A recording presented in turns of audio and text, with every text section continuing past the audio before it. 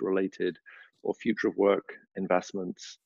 Uh, and uh, our fund invests on behalf of Comcast and Universal and NBC. But we behave exactly like an independent fund. Think of us much more like a Google Ventures than a strategic fund. I'll give my quick overview. I'm Claire Fauquier. at Highland. Um, we're a 33 year old fund with offices in Boston, New York, San Francisco, and Palo Alto. Um, I'm currently in New York. Um, we do Series A and B investing all across the gamut, um, about 50 50 consumer and enterprise, um, with initial checks somewhere between 5 and 20 million. I think we're the only investors. Um, you guys want to just? That's right start hitting us with questions? I have um, the spreadsheet up that like shows what everyone's doing, so that's been helpful. So I have context, but I don't know. Feel free to jump in.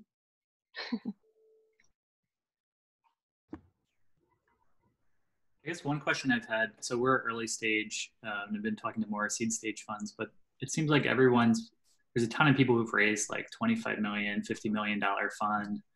Um, what's going to happen? I mean, seems like it's been really easy to raise a fund basically but what's going to happen to that whole level because early stage is harder there just aren't as many funds writing 250k 500k checks and leading a you know a smaller round um, so yeah what do you guys think is going to happen at that end of the market it's a really good question. I think that um i think that market's going to dry up but i don't think it's going to happen for probably a couple years.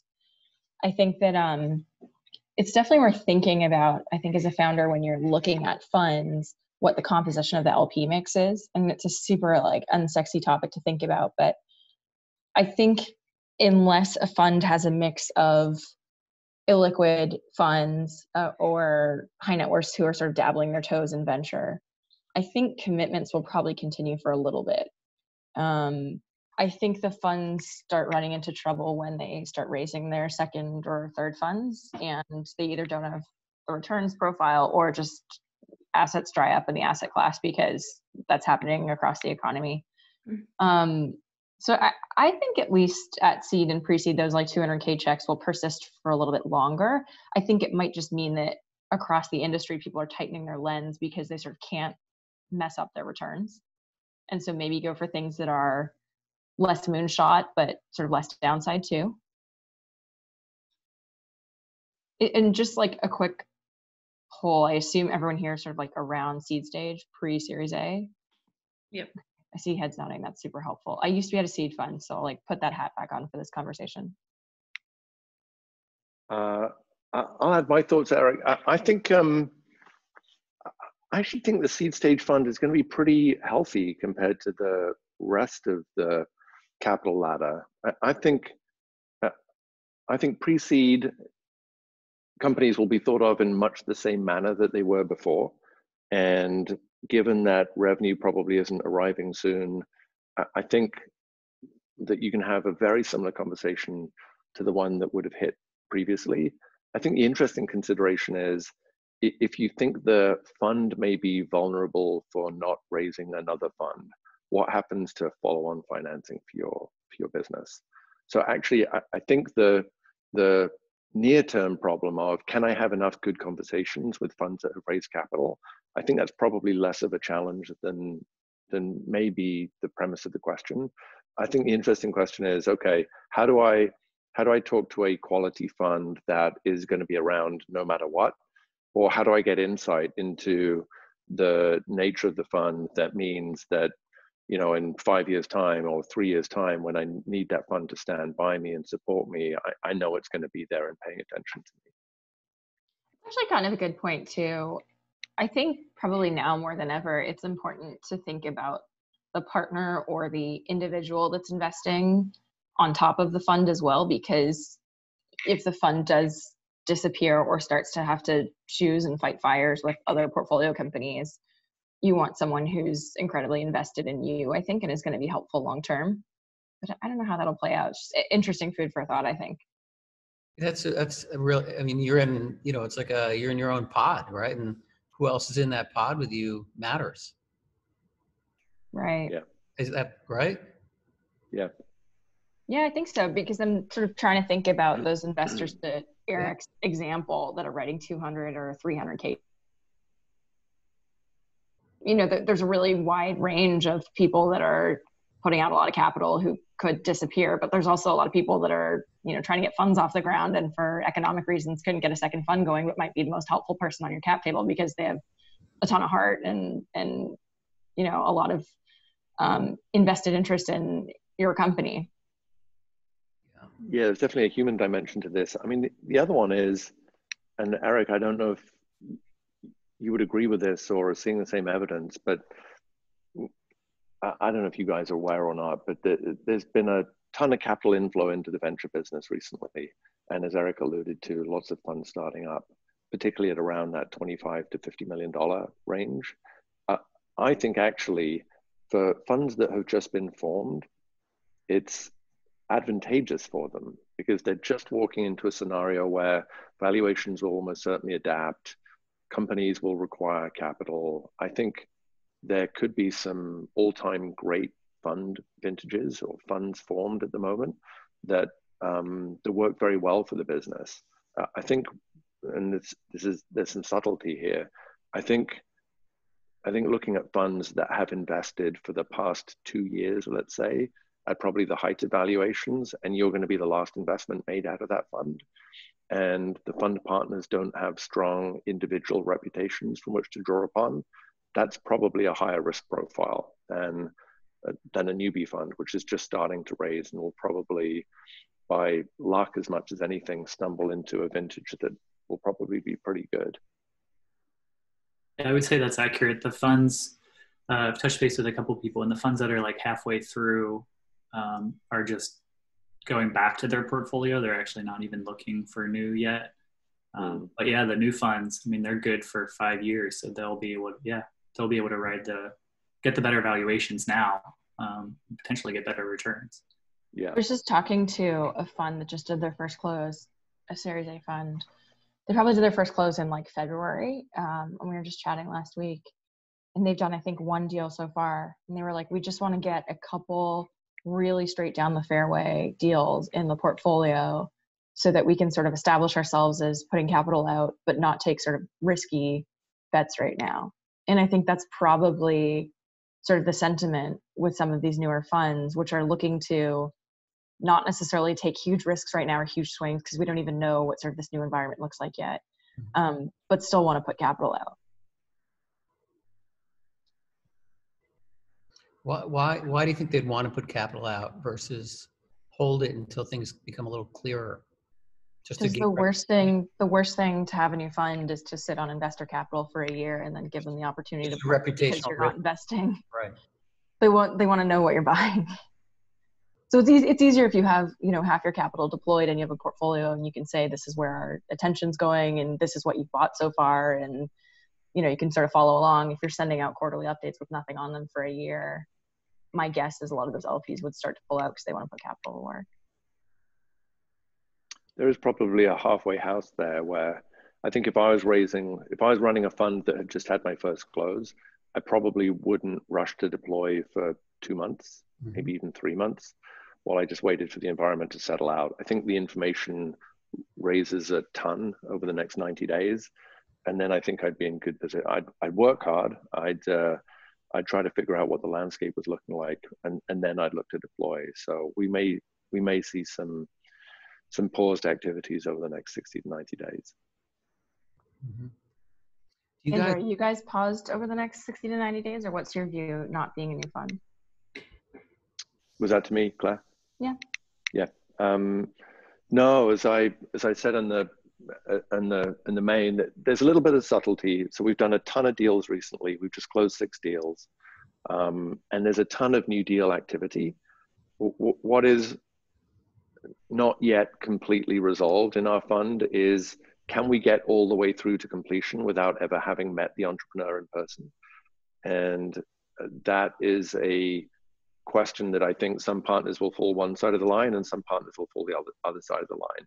And I also think going early is much easier in that decision. So um, pre-seed and seed stage companies, even though the team is such an important part of that bet, the check size is manageable and I think the partnership could get comfortable writing, in effect, what is a smaller check for the fund into those kind of investments. What I think is going to be difficult for the next two months, let's say, and I would call it a kind of pause period, is I think it's going to be difficult to write a big check into a company that you didn't know before. So, an entrepreneur that you didn't know before. I think you could get there for an entrepreneur that you've spent time with and that you know how they operate. But I think kind of de novo relationships are going to be, for larger checks, are going to be difficult.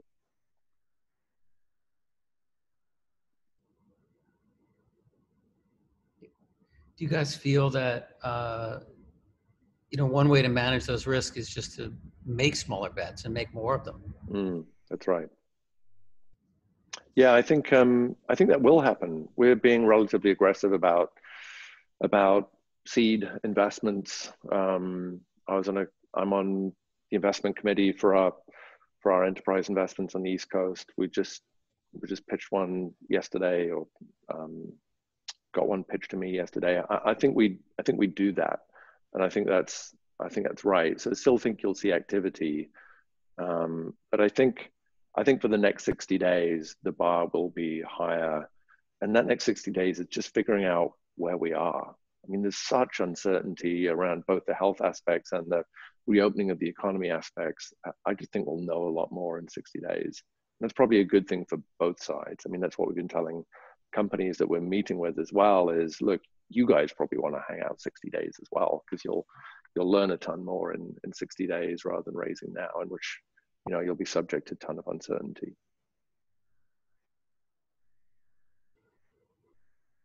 We're probably sort of in line with that, although we don't do seed investments. We don't do check sizes larger than 5 million. And I think we'd stick to that just because that's our model. And we're, we're really fortunate in the sense that because we're a 33 year old fund, we have really patient long term capital and we're about half deployed in our most recent fund. So we have the patience and time to be able to watch what happens with the market. And I'm on the same page as Andrew in that I keep reminding myself and everybody else that it feels like we've been working from home from an eternity, but it's it's really pretty recent, and we can't even begin to forecast what the quote unquote new normal looks like because we just don't even know where we are. We're a month into this thing, um, so there's no harm in in being a little bit patient. I also think that from a company perspective, it's a little bit tough right now, especially at our stage at A and B, which is a little bit different than seed because there's a little bit more flexibility and in fluidity and spend. But I'm seeing a lot of founders um, that I've been watching for six months or so, waiting for the right time to invest. And I'll reach out to them for catch ups. And they sort of don't want to catch up with VCs because I think some of the best companies, their insiders are funding um, and doing sort of bridge rounds for the next six months to get them through for this exact reason. So they just don't know what's going to happen for the next six months and just, you know, don't want to have to think about raising in the next six months. Um, or the ones that are raising right now tend to be the ones that sort of can't find capital from insiders. And again, that's not necessarily happening at seed, but I think smart founders are thinking the same way in that, you know, unless you have incredible fundamentals and incredible capital efficiencies, you're willing to take, you know, maybe a compromised multiple or something, or there's an incredible need for capital, it kind of makes sense to wait 60 days just to see what happens. Yeah, agree. How about you guys? I'd love to hear from you guys. Have you seen a big change in sentiment from investors? Have you seen them, you know, drop meetings or say, look, we're we're shut for business or signal in any particular direction? Uh, yeah, I mean, um, in my company, we're in the in the real estate space, and uh, all of our investors are strategics uh, that are in this space. Uh, mm-hmm. It's great for us because they act as kind of a sales force for us. but those guys are you know are really busy right now. If you're an attorney if you're in the title business uh, if you're a mortgage in mortgage i mean these guys are all uh, experiencing deep distress in different ways. Either they're, they're just incredibly busy um, or they're seeing uh, you know they're, they're especially the attorneys uh, just seeing you know their business drop off uh, to you know very large percentages. So we did get a couple of checks uh, right when things started to fall apart, uh, which kind of led me to my question because the size of those those checks uh, were, you know, half at best of what they were going to do. Uh, but those who were committed still went through with it. Um, but the check sizes were much smaller. The ones who who um, didn't cross the line in time kind of dropped off. I don't know what other people's experiences are, but the capital that we got. Sorry. No, I was going to say when you said that you got a couple checks, are those from insiders or from new investors? New investors, yeah. Right, right. Yeah. Um, but uh, you know, with those kinds of investors, um, you know, it's it's uh, what do you call it? The circles of, of trust. So there are extensions of the people that were already on the inside. Um, but kind of you know, thinking about the next raises when you followed that kind of strategic strategy, uh, you know, all of those people are going to be under t- tremendous stress for, for months to come. I'm, I'm reluctant to even, you know, reach out to them at this moment because they're so busy working from home with their kids screaming in the background. How about others' experiences? Vivian? I uh, kicked off fundraising um, middle of February, and as an East Coaster, it took me, you know, three weeks just to get in front of people on the West Coast and to, you know, line up those meetings. Um, and I flew back to New York the first week of March. Um, and you know, since then, have had a couple of meetings over Zoom, and I find them to be a lot slower. Um, However, because I'm in the future of workspace, um, we've seen incredible growth. So I am still having meetings with investors, and there is a lot more um, even cold investors reaching out to me from you know the first batch of outreach that I did. Um, however, one thing that I'm realizing now is that um, angels, you know, are definitely um, drop. You know, they're they're nowhere to be found, and they're very much silent now. Um, one of the things that I've been told again time and time again is you know you have to create fomo you have to have a timeline you know um, and it feels a lot harder to create that when you can't have that face-to-face um, report with people um, and you know people can take their time to you know try to schedule the next meeting and then want to dig in more information because like you said it's uh, beneficial for the investors to just you know see what happens after 60 days. Um, and as a company that you know is seeing a surge in user base because we're in the remote workspace um, 60 days is a long time. Um, so i'm kind of simultaneously juggling you know do i buckle down and you know go hard after investors or do i right now just focus on um, capturing the users as much as i can because you know the time is here and now Yeah, makes sense. It's difficult judgment. I mean, uh, uh, I guess, I guess one piece of advice would be, I suspect that at least some investors are taking meetings and slow rolling next meetings just because they want to get to a period at which they have clarity on the future and kind of have the green light on we're now ready to deploy. You should ask them that question directly. Say, look, what what's the timeline and institutionally are you guys ready to deploy capital in the next you know six weeks or so? I think that would flush out some interesting answers. Yeah i think then, charlie mentioned that like the next best thing is like a quick no. Mm. yeah. Yeah but vivian also if you want to shoot me your deck i have an active angel fund that i invest out of and some friends i do some angel investing with and we've written two checks in the last month Absolutely, absolutely. I'll mm-hmm. do that. Um, and then my other question is, you know, originally I set out to raise two million because you know that felt like a good number in good times. Um, and I don't know if that's realistic anymore. And obviously, the advice is to do something that's realistic um, and get you know close it as quickly as possible. Um, do I lower that amount now, even though I've already had conversations with people saying I'm raising two? Do I lower it to one million because that's much more achievable, or like somewhere in between, like 1.5? I always think this question, sorry, Andrew, if you want to go ahead, feel free. No, no, I was just saying, please go. I always think this question is kind of interesting. And I think that you ultimately need to be the one to make the decision because it's your business and you know it better than we do. I don't want to lead you to an answer. I would say there's a lot of different factors right now. The first thing you mentioned about lowering the amount even though you've already mentioned raising 2 million i think you sort of get a bit of a free pass right now because this is you know the world's kind of on fire to a certain degree. I don't think you get horribly penalized for you know not building that fomo right now just because it's kind of understandable. People aren't writing checks. So I, I wouldn't worry about that if you feel that 1 million is the right move. I think the things to consider are um, the time because i think that it could ostensibly take you know 2x 3x whatever it is longer to actually raise and you mentioned being able to focus completely on the business right now. Um, i think it depends what you can do with a million and a million and a half versus 2 million and you have to sort of weigh the calculus there and, and decide what's best for the business. Um, if there is an option to delay outright for three months and raise in three months when things are a little bit more certain and that feels like the right decision for the business i think that is totally fine too and i think it's fine to come back to that entire list of investors in three months and say we hit pause and here we are again because i think again you sort of don't get penalized for that fomo kind of stuff now.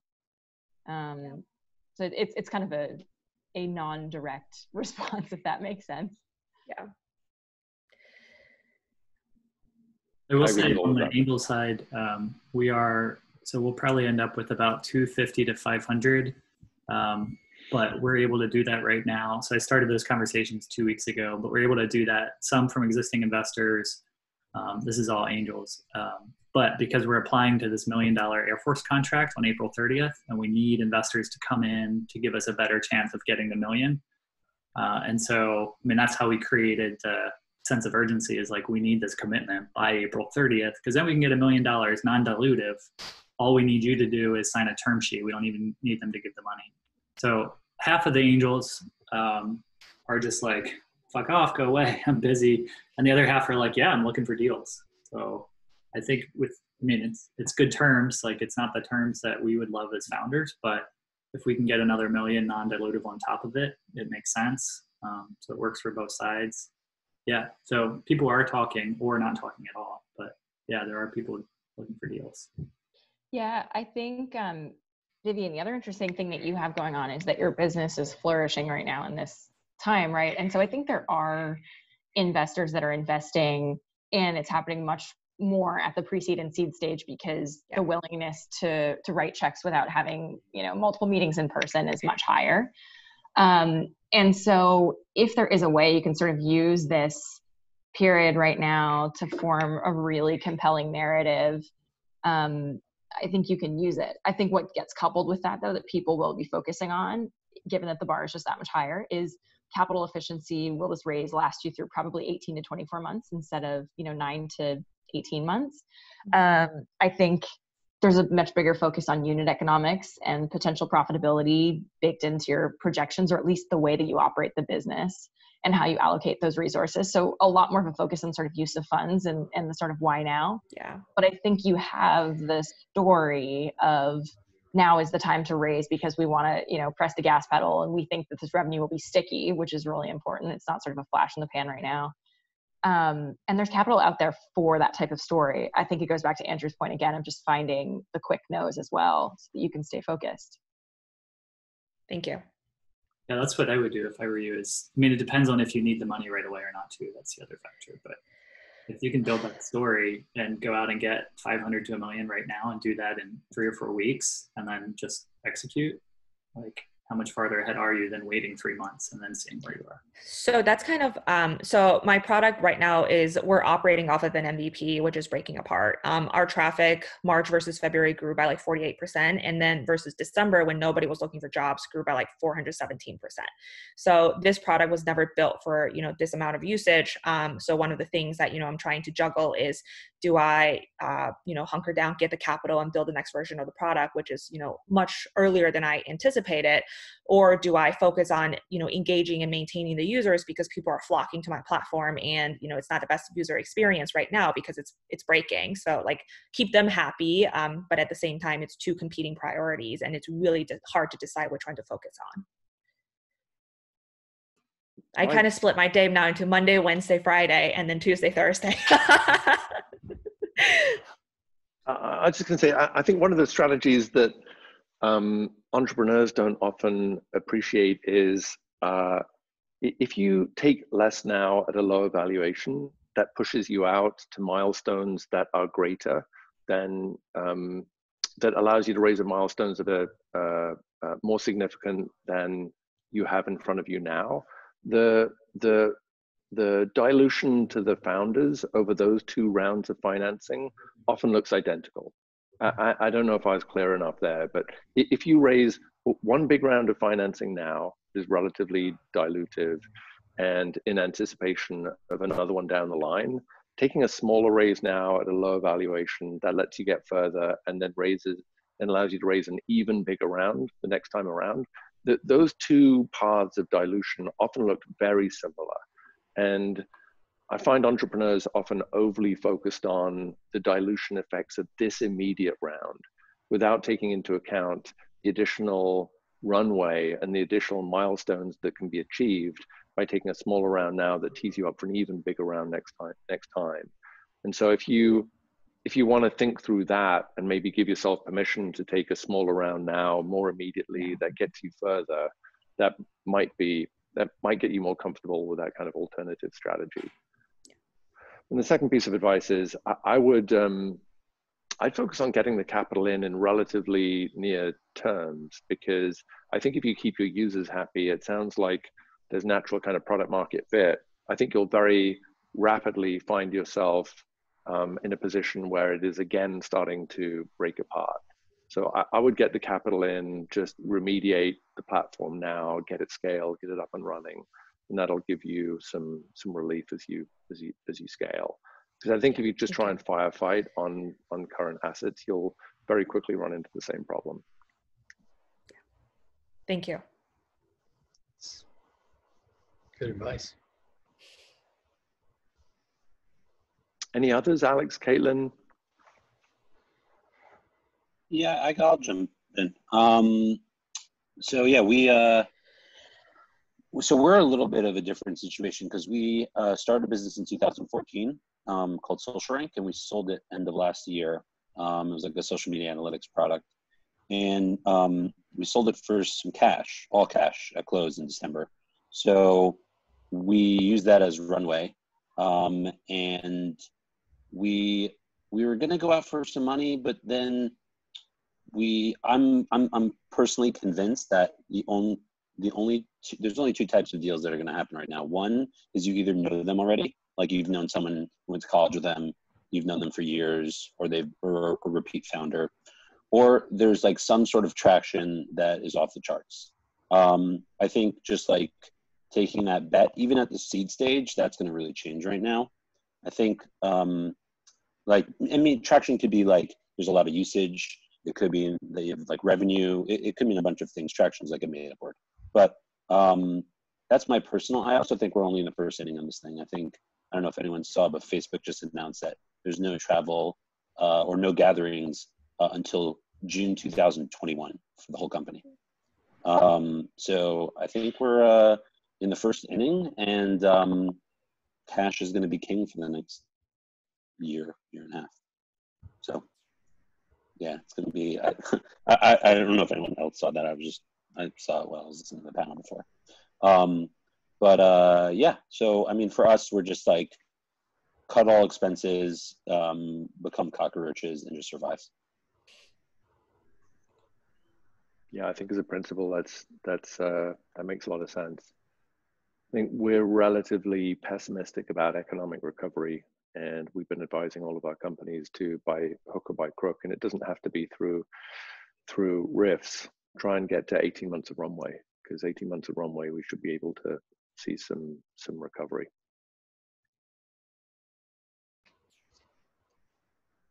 Or I think even like we'll have more data to figure out what we're all working towards and what environment we're living in. I would love to know, um, you know, what, um, obviously it's really hard to predict the future, but just kind of based on what we've seen and in the last like, you know, 30 days, um, what do you guys think will happen um, in the future when it comes to work, when it comes to even like, you know, remote work? Um, fundamentally, how do you think we're going to shift as a society? Maybe I'll, I'll take that. I, actually have a, it's one of the areas that I'm interested in. I, I have a,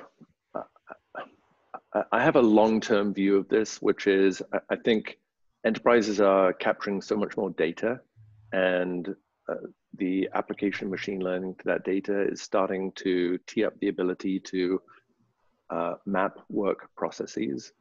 So enterprises get stuff done or any business gets stuff done by humans doing something and then a machine system doing something and handing back to a human and handing back to a machine system. It's a typical kind of um, workflow. And uh, I think I think enterprises will start to map how they create value. I think that has a whole set of secondary effects for how do you mechanize the enterprise? How do you bring in labor? I think labor will get much more fractionalized. I think we'll see much more offshore labor. And these remote tools play into that. I think that will be a decade long shift, but I think there will be a whole set of very significant economic consequences that will actually have been shortened by this particular crisis because it will show everybody that Zoom working and remote working and project management actually has been very functional in ways that at least institutionally weren't believed before. Looks like we're getting kicked back to the main session, so uh, I'll see Thank you all you in the main guys. room. Thank you. Thanks everyone Thank for the you. questions. Thanks, everyone.